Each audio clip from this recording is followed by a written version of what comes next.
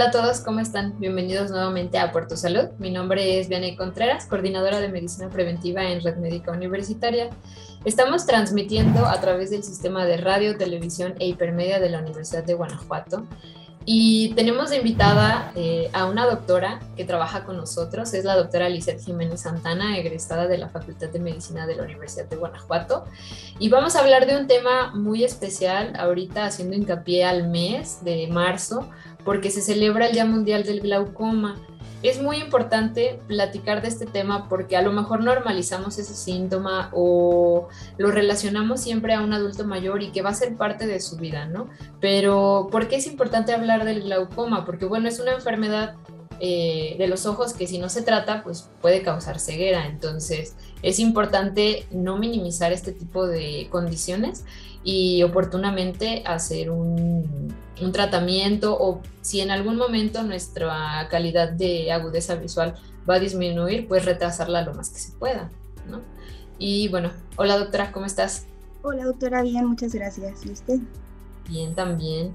Este, muchas gracias por aceptar la invitación. Y bueno, me gustaría que nos platiques un poco de qué es el glaucoma. Primero, que las personas que te están escuchando y te están viendo mmm, sepan qué es, porque bueno, dices glaucoma y solamente asocias a ojo, pero no sabes qué es. O sea, bueno, a muchos pacientes no saben qué es, ya hasta cuando tienen algún familiar o les pasa a ellos. Y lo ideal es que conozcamos todos eh, este tipo de, de, de padecimientos. Doctora. Pues el glaucoma es una enfermedad que va a afectar principalmente al nervio óptico y pues progresivamente va a ir perdiendo la visión. Generalmente la gente lo asocia con, ah, glaucoma, tengo la presión en el ojo elevada. Y sí, es un factor importante para el desarrollo del glaucoma, pero también eh, hay que mencionar que existe glaucoma aún con una presión en el ojo pues dentro de lo normal. Entonces lo que caracteriza a esta enfermedad es el daño al nervio óptico y pues la consecuente pérdida de la visión. Muy bien. Y bueno, platícanos un poquito eh, acerca de, de, la anatomía del ojo, del humor acuoso, porque bueno, a lo mejor pueden estar escuchando, pero no van a saber qué es. Ok, sí.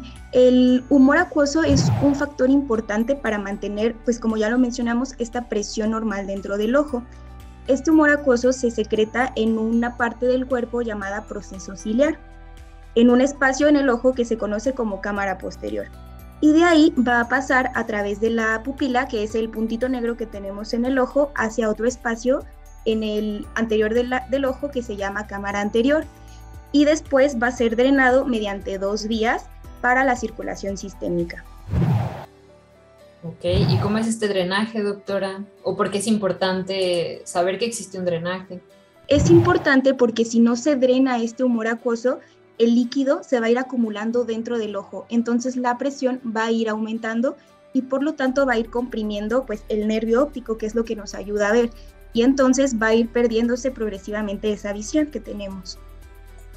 Ok, bueno, esto es muy importante. ¿Y qué, qué vías eh, de drenaje hay? O, o platícanos un poquito más de esto.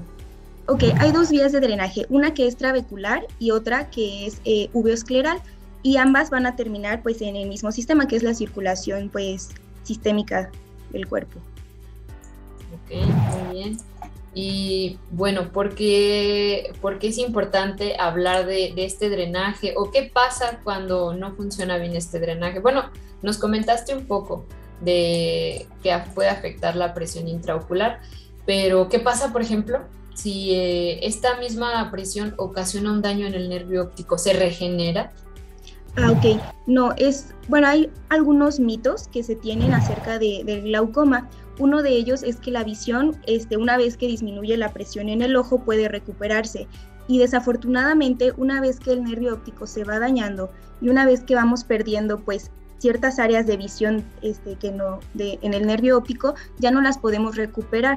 Entonces, por eso es importante el control y el correcto drenaje de este humor acuoso. Ok, y cuando hablamos de la presión intraocular, doctora, porque sí, como mencionaste, muchas veces podemos escuchar glaucoma y decir, ah, me subió la presión del ojo. Eh, ¿Para qué sirve esta presión? ¿O por qué es importante medirla? ¿O cuáles son los valores normales de la presión del ojo? Es importante porque nos ayuda como tal a mantener la tonicidad del ojo, pero una vez que está muy elevada, el ojo ya no puede realizar sus funciones normales. Entonces pues comienza a comprimir como tal el nervio óptico, entonces lo va tapando y la visión pues ya no es adecuada. La presión normal en el ojo debe estar entre 10 y 20 milímetros de mercurio y pues para medirla se necesitan aparatos especiales que solo un oftalmólogo puede, pues, puede tenerlos. Ok, muy bien. Y mm, bueno, ¿de qué tan, qué tan común es eh, el glaucoma, doctora? O por ejemplo, en México... ¿Qué, lugar ocupa o en, cómo estamos eh, realmente en México? ¿Qué estadísticas tienes tú?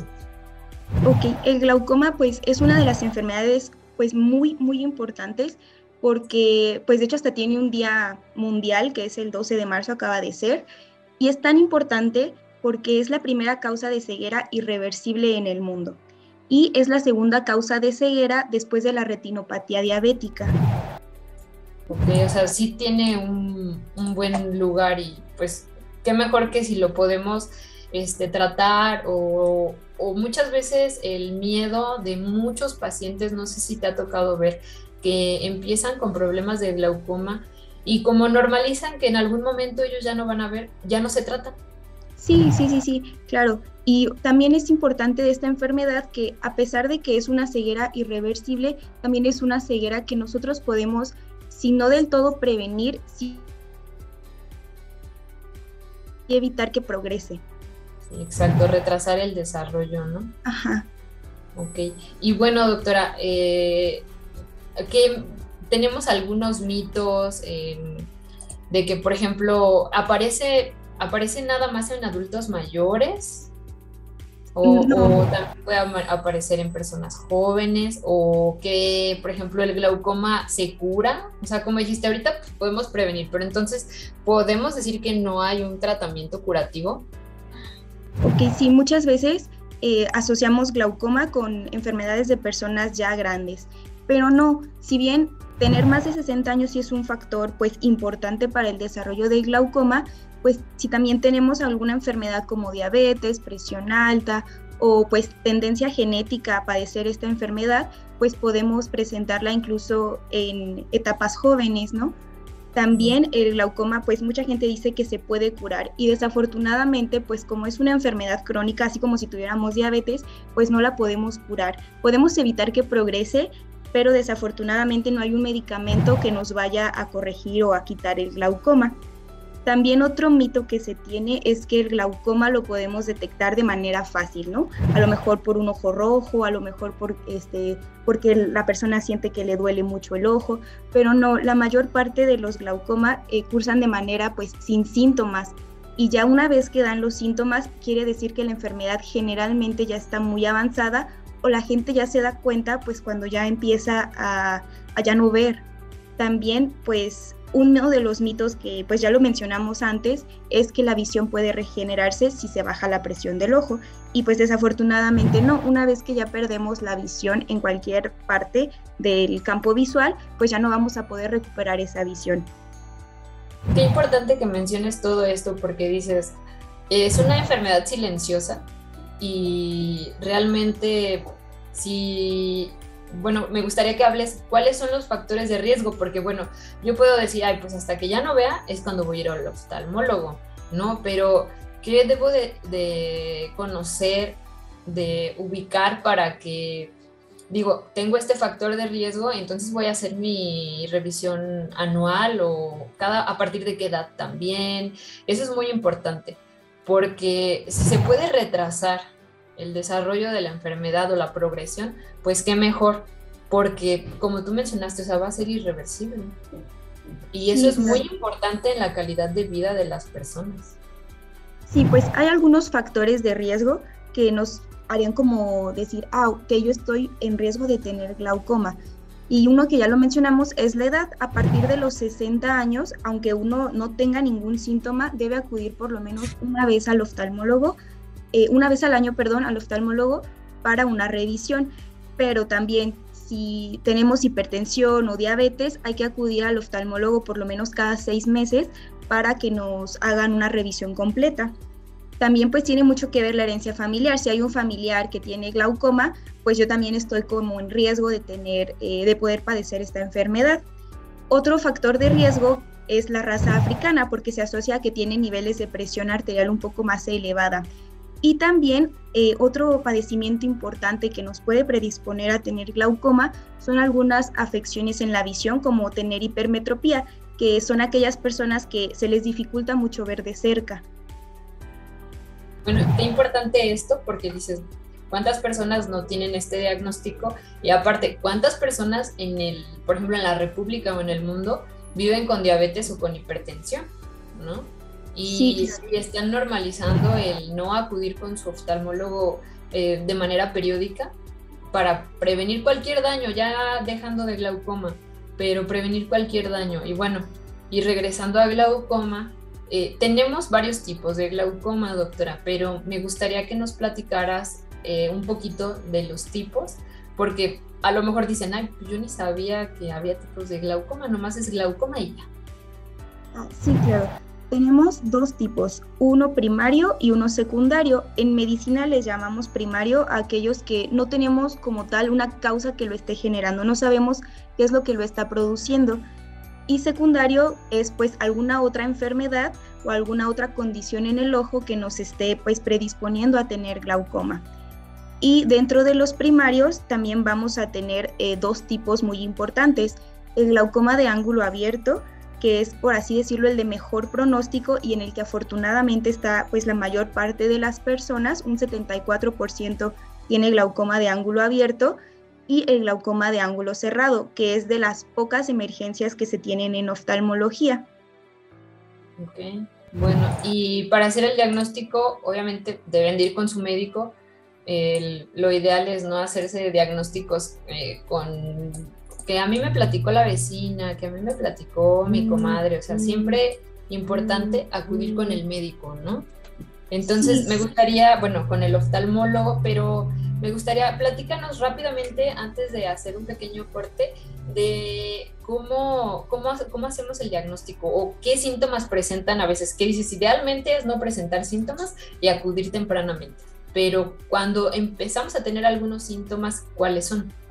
Ok, sí, son síntomas muy inespecíficos que pues te pueden sugerir muchísimas enfermedades como tener visión borrosa, dolor de cabeza constante, que los ojos te duelan, que sientas como si te estuvieran oprimiendo los ojos o incluso el ojo rojo y seco. Y también pues algo característico de la enfermedad, pero que ya no se habla como tal de mucha progresión, es visión en túnel. Es decir, vemos el centro de las cosas, pero lo que está alrededor no lo podemos ver. Ok, bueno, eso es muy importante. Y bueno, eh, ¿qué te parece si hacemos una pequeña pausa y ahorita regresamos? Sí.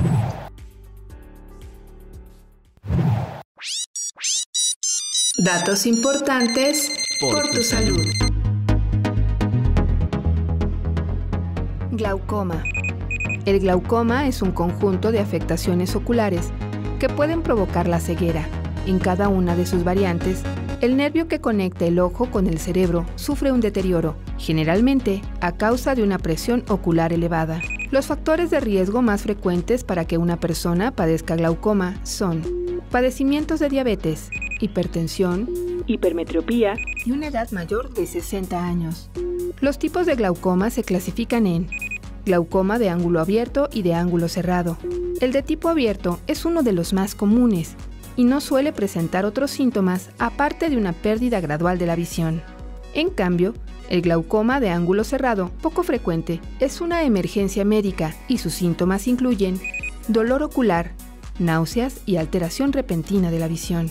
El tratamiento de esta afección ocular incluye colirios, medicamentos y cirugía. Si detectas dolor en el área ocular y un cambio de visión repentina, no dudes en acudir a un oftalmólogo para realizar un estudio a profundidad. Datos importantes por, tu salud. Hola a todos, bueno ya estamos de regreso del programa de Por tu Salud. Estamos con la doctora Liz Jiménez hablando de glaucoma y de lo importante que es hacer un diagnóstico oportuno para prevenir o retrasar eh, un evento como de pérdida de, eh, agudeza visual, de, agudeza visual, puesto que la doctora nos comenta que es la segunda causa de ceguera en, en México, doctora. Después de la retinopatía diabética, ¿verdad? Sí, así es. Así es. Y bueno, doctora, ya nos platicaste más o menos los síntomas que llega a padecer una persona que pueda estar con este diagnóstico, sin embargo, que no es lo ideal llegar sintomático, lo ideal es hacer el diagnóstico de manera oportuna. Entonces, pues hay que acudir con nuestro oftalmólogo. Pero ¿qué hace el oftalmólogo? O sea, yo voy a llegar a una consulta de oftalmología y ¿qué va a pasar? Ok, bueno, primero el oftalmólogo pues tiene aparatos especiales para revisar nuestro ojo, no lo detectan a simple vista. Lo primero que va a hacer va a ser colocarnos un medicamento que nos va a ayudar a abrir un poquito nuestra pupila para después en un equipo que se llama lámpara de hendidura vamos a colocar ahí nuestra cabeza y va a revisar nuestro fondo de ojo, así se llama. Esto, este examen nos va a permitir ver el nervio óptico y ver si hay algún daño ya como tal eh, en este nervio óptico, que pues ya lo mencionamos, es una característica de esta enfermedad. Además, este, también va a ayudarnos a medir la presión eh, en el ojo. La presión en el ojo se mide con un aparatito que se llama tonómetro, que va a dar pequeños golpecitos en el ojo, en la superficie del ojo, con la finalidad de poder medir la presión dentro de, de nuestro ojo. También nos puede realizar un examen que se llama gonioscopía, que nos va a ayudar a determinar si el glaucoma es de ángulo abierto o de ángulo cerrado. Y nos puede mandar a hacer otros estudios especiales que ya no van a ser propiamente en la consulta eh, en el oftalmólogo, sino nos van a mandar a hacer estudios de imagen, nos van a mandar a hacer alguna campimetría para ver qué tan afectada está la visión. muy bien. Y hay manera, bueno, a partir de todo lo que nos has platicado, que yo casi estoy que con, ya con la respuesta en la boca, pero ¿de qué manera podríamos prevenirlo o hay manera de prevenirlo? Sí, claro. El glaucoma este, lo podemos prevenir desde pues yendo al oftalmólogo por lo menos una vez al año, pero también es muy importante que si somos personas que tienen diabetes o presión alta, pues mantener nuestros niveles de glucosa y de presión arterial dentro de los niveles normales, ¿no? Entonces son como las dos formas de poder prevenir esta enfermedad. Una es ir al oftalmólogo a que nos revise y otra es cuidar nuestra enfermedad, apegarnos a nuestro tratamiento y pues mantener los niveles eh, de glucosa y presión arterial dentro de lo normal. Ok, excelente. Y bueno, doctora, tenemos algunas preguntas mm, para ti. Muy bien. ¿Hay medicamentos que puedan aumentar la presión del ojo? Claro que sí. Eh, se ha visto que el uso crónico de medicamentos como cortisona, dexametasona, los que conocemos como los esteroides, eh, ya sea en forma de gotas en el ojo, cuando nos los tomamos en pastillas o incluso las aplicaciones de ungüentos, pueden aumentar la presión en el ojo si los usamos por más de cuatro o seis semanas. Ok, muy bien. Este, y bueno, también nos hablabas de diferentes tipos de glaucoma, de ángulo abierto, ángulo cerrado, pero yo cómo puedo identificar? O sea, dijiste, afortunadamente la población mexicana eh, presenta más el tipo de ángulo abierto, ¿no? Ajá. Pero, ¿qué diferencias hay? O, lo puedo identificar a lo mejor, ¿no? nosotros a simple vista no lo podemos como tal eh, identificar pero el oftalmólogo, este, mediante este estudio que les comentaba de la gonioscopía, es medir el ángulo. El ángulo es como la distancia que hay entre las vías de drenaje, por así decirlo, del humor acuoso y van a medir eh, qué tan abierto o qué tan cerrado está este ángulo. Si este ángulo está cerrado, aunque el humor acuoso este, funcione de manera normal, que se produzca normal, que las vías eh, de drenaje estén funcionando de manera correcta, si este ángulo está ahí tapando, como por decirlo, eh, el flujo normal del humor acuoso, pues obviamente no va a poder circular y va a ir acumulándose en el ojo. Pero en un ángulo abierto, el ángulo está funcionando normal. Lo que está mal es o estamos produciendo mucho humor acuoso por alguna alteración en el ojo o bien alguna de las vías por las que se drena el humor acuoso no está funcionando de manera correcta.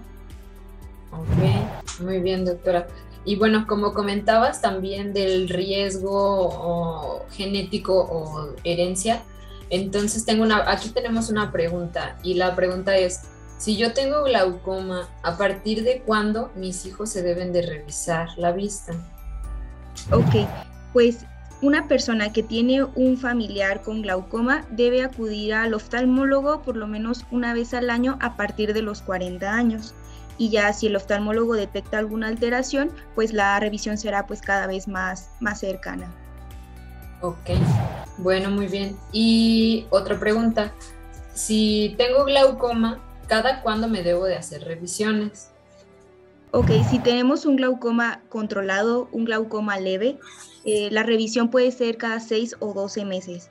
Pero si vemos que es un glaucoma eh, complicado, la revisión pues va a ser cada mes o cada tres meses. Y si vemos que es un glaucoma de ángulo cerrado, como tal es una emergencia en oftalmología, entonces ese, a ese paciente pues lo más ideal es llevarlo al quirófano para poderle... Eh, colocar algún sistema de drenaje o para poder hacerle algún procedimiento de emergencia para poder drenar el humor acuoso. Ok, y bueno doctora, como dijiste, a veces no, por simples síntomas no podemos identificar si tenemos un glaucoma de ángulo abierto, ángulo cerrado, pero entonces, eh, ¿qué síntomas mm, nos platicarías que si los presentamos es urgente irnos al médico? Ok, sobre todo un dolor ocular muy intenso, como si estuvieran comprimiéndonos el ojo, apachurrándonoslo. También que el ojo se empiece a poner muy, muy rojo sin alguna explicación. Y sobre todo si empezamos a tener visión en túnel, que ya solo veamos una pequeña porción de lo que tenemos en el centro, que toda la periferia o todo lo alrededor ya no, ya no sea visible. Ok, bueno, entonces sería una indicación de, de urgencia, ¿verdad? Sí, de acudir pues al oftalmólogo. Ok, pues muy bien doctora, yo creo que es muy importante no minimizar cada parte de nuestro cuerpo, así como también nos eh, enfocamos mucho en el peso, en la alimentación saludable, en el control de padecimientos o condiciones con las que vivimos algunas personas. Pues, ¿por qué no también revisar los ojos, no? Cada parte desde desde el cabello hasta la punta de la uña, yo creo que es muy importante darle, darle el valor que merece y, ¿por qué no? O sea, estarse monitorizando y, la vista es uno de los sentidos más importantes que, bueno, sin embargo hay personas que no la tienen y pueden llevar su vida adecuadamente, pero aún así, personas que nacieron con este privilegio, pues, pues cuidarlo. Y algo muy pues muy importante de los ojos, muy bonito de los ojos es que la mayoría de las enfermedades o pues por desafortunadamente la mayoría de las enfermedades que tenemos se pueden manifestar y se pueden detectar pues en el ojo. Entonces cualquier enfermedad, como bien dicen las frases, los ojos nunca mienten, pues cualquier enfermedad que, que tengamos va a afectar de manera directa o indirecta a los ojos. Entonces, pues como dice doctora, la visión y la vista es pues yo creo que de lo más importante, de lo más bonito que podemos tener para disfrutar de la vida, de las cosas, de los colores. Entonces, si la tenemos y si tenemos el privilegio, pues, de, tenerla, pues qué mejor que cuidarla y prevenir, eh, pues, el hecho de que ya no podamos ver por algún mal control de alguna de las enfermedades que ya tenemos. Exactamente, y no normalizar que a cierta edad no voy a ver y está bien, ¿no? Sí, no, claro. El glaucoma, eh, así como la retinopatía diabética, son enfermedades que se puede evitar su progresión y que se puede dar una mejor calidad de vida a los pacientes con el control pues, de, la glucosa y de la presión arterial. Bueno, doctora, pues te agradezco mucho. Si tienes algún otro comentario que nos, nos quieras aportar. Eh, no, pues no por ahora, no sé si existe alguna otra pregunta. Ok, bueno, pues creo que no.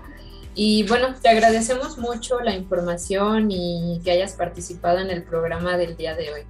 No, muchas gracias por invitarme. Me gusta mucho hablar de, de los ojos. Bueno, muy bien. Entonces, cualquier duda o pregunta, sugerencia, queja, aquí tenemos, dejamos tu correo que es l.jimenezsantana.ugto.mx, Jiménez con Z. Y bueno, estuvimos con la doctora Lizeth Jiménez Santana, médica egresada de la Facultad de Medicina de la Universidad de Guanajuato. Agradecemos a la doctora y también su atención en la misión de este programa por tu salud. Los invitamos a ver la programación del sistema de radio, televisión e hipermedia de la Universidad de Guanajuato. Mi nombre es Vianney Contreras en Red Médica Universitaria y nos vemos a la próxima. Muchas gracias, doctora. Gracias a ustedes. Hasta luego. Hasta luego. Thank you.